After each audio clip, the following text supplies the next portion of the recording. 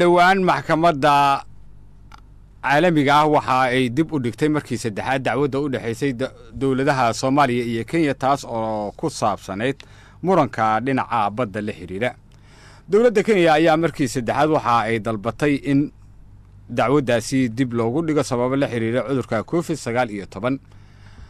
Waxaana arrimahaasi ka hadlay qaar ka mida siyaasiyiinta. Dalka waxaa ugu dambeeyey salaad cali jeello oo ka mida siyaasiyiinta waraysi gaar ah oo waraysi uu siiyey raadiyo kulmiye. Waxaa la yeeshay xuseen cabdulle waxaana uu marka hore ka warramayaa bal waxyaabaha ku dhaliyey in uu ka hadlo xaaladda dacwadda badda ee u dhexaysa soomaaliya iyo kenya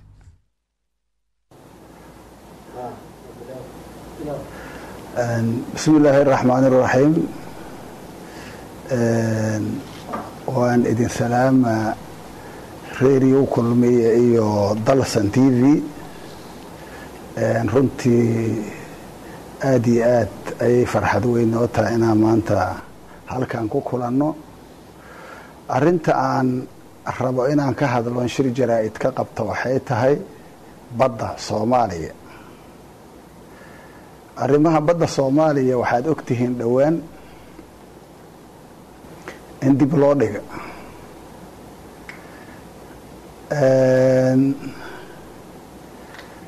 marka horena waxaan leeyahay bismi illaahi الraxmaan الraxiim alxamdu lilaahi rabi اlcaalamiin wالsalaatu wasalaamu calaa rasuuli اllaah xunnahay in badda soomaaliya dib loo dhigo taas oo aheeday in bishaan soo socoto ewelkeeda inay soo gebangebowdo oo ummadda soomaaliyeed ay arrintaasi guul weyn ay ka rajaynaysay isla markaasna ay aheeday kama dambaystii ay ku tala gashay ummadda soomaaliyeed in baddeedii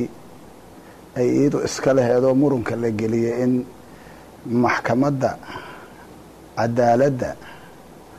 i c j ay mataqaanaa soo gebangebayso dacwadii ka dhexaysay kenya iyo soomaaliya. Runtii aada iyo aad ayaan arrintaas uga xunnahay. Mana aanan jeclaysan kumana aynan farxin hase ahaatee waxyaabaha naloo cuskaday ayaa waxaa ka mid aheeday cudurkan safmareenka oo corona virus oo hadda aada ogtihiin inuu adduunka dhan ou mataqaanaa bandow ku soo rogay oo adduunka isu socod ka diiday oo uu noqday cudur cid walba gurigeeda ku celiya marka. Runtii arrintaas ayaa mataqaanaa mataqaanaa sababtay dib u dhaca. Runtii waana arrin xilli aan wanaagsanayn cudurkaani asagoo ewelba dhibaato nagu haya haddana taas inuu naga istoobgareeyo oo naloo kugu marmarsiyoodo oo arrintaasi ay riisin laga dhigto aada iyo aadaan uga xunnahay runtii shacabka soomaaliyeedna aada iyo aaday uga xun yihiin. Waana arrin aad lama filaan nagu naqatay oo aan aada iyo aad mataqaanaa niyad xumi keentay. Marka waxaan leenahay arrinkaasi runtii kuma farxin. Shacabka soomaaliyeedna aada iyo aaday arrintaas mataqaanaa ay ugu rajo weyneed inay maxkamadaasu ayna dib u dhicin iyo dowladda soomaaliya iyo guud ahaan. Dadka soomaaliyeed dibadyo gudaba ha joogaane qodobka labaadoo marka aan rabo inaan ka hadlo oo aan rabo inaan ummadda soomaaliyeed u bayaamiyo runtii aniga muddo badan oo aan mataqaanaa dalkan ku noolaa weligay badda iga aada amba si ka siyaasi ahaan amba xisbiga midnimada iyo dimuquraadiyadda aada iyo aad ayuu arrintaas ololo weyn uga aan uga galnay. Mar walbana waxaan ahaynay kuwa guusha fisha oo shacabka soomaaliyeed ku hogaamiya inay arrintaasi ay ummadda soomaaliyeed murunkaasi badda laga geliya ay meesha ka baxdo. Runtii waxaan rabaa marka inaan maanta u faahfaahiyo ummadda soomaaliyeed. Horta baddan waxay ka dhigan tahay guri kaagaa ood adigu iska leedahay oo nin ou aabbaha aad uga aada ka dhaxasha inuu inta nin kuu yimaado oo ku yidhaahdo gurigaagii aan ku gurigii aan ku kala baxnee gurigaan gurigaaga aan ku kala baxnee aan isla dacwoono. Oo dhaxaltooyaa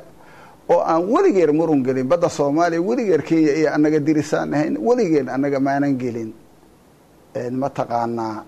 wax muruna oo badeed weligeerna ma dhex marin. Saad ka warqabtiin marka anigu xilligii baddaa murunka la gelinaya xildhibaan baan ahaa. Annaga markii aan aragnay badda in dad aan mataqaanaa aan ka fikirayn waxyaabaha ay keeni karto in la fududeysto amba ay kenya kala wada hadlaan. Waxa loo yaqaan m o u-ga oo is-afgayeed hantideedii ay mataqaanaa meelaan munaasab ahayn iyo waxyaabo aan markaas loo baahnayn inuu heshiiskaasi keenayo. Markaan aragnay isla markii mooshin baan geynay baarlamaanka wax ana ku guulaysanay sideeddii toban inaan ka soo saarno go'aan barlabaana oo magaciisa aan ugu magac darnay dhaxal dhowr waxaad ogtihiin dadka soomaaliyeed dowladdii waa ka burburtay si ayn marka aan looga faa'iideysanoo dadka danaha gaarkaa iska leh oo shakhsiyaadka ah oo iyagu markaas aan ka fikirayn mustaqbalka ummadda soomaaliyeed iyo guud ahaan waxa ka imaan kara. Isla markii annaga hawshaas waa ku guulaysanay go'aankii waxaan ku gaarnay baarlamaanku shan boqol ou ahaa saddex boqol soddon iyo shan xildhibaan ayaan u vood garaynay inuu heshiiskaas isafgarada ou baadil yahay uuna yahay mid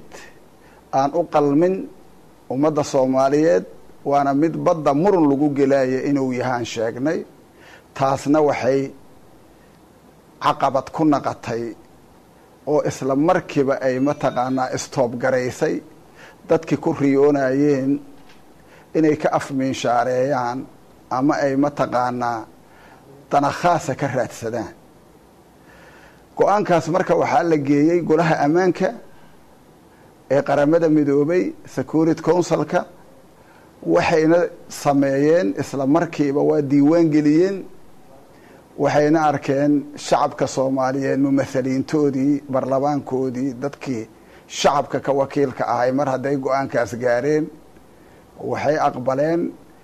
inuu mataqaanaa waxba kama jiraan ou yahay is-afgaradkii lagu marin habaabinayay badda soomaaliya isla markiina waxay u gudbisay adduunyada meel kasta oo ay ka mid tahay maxkamadda i c j maxkamadda caalamiga ee cadaaladda halkaas ayaan horta ku istoobgaraynay kuna ilaalinay hantidii ummadda soomaaliyeed. Dadka soomaaliyeed marka oo aan xog ogaalka u ahayn waxay u heestaan inay mataqaanaa shaksiyaad ku xiran tahay waa go'aan barlabaana wax wax ka bedeli karana waxaa ka jira. Barlabaan kale oo markaas cod saddex meelood laba meel inay qodobkaas bedelaan waa sharci soomaaliya ka jira oo soo baxay sideeddii bishii tobanaad laba kun koob iyo toban oo baarlamaanka soomaaliya uu soo saaray baarlamaan kalea bedeli karee cid kale oo hadday si kasta yeesho mataqaanaa arrintaas jiha wareeri karta ma jirto. Mar labaad waxaan aada iyo aad arrinkaas nasiib darrada ah inay dib u dhacdo. Mar mar walba arrinkaasina mid aada iyo aad ii welwelgelinaya ama annaga noo welwelgelinaya amba xisbiga midnimada iyo dimuquraadiyadda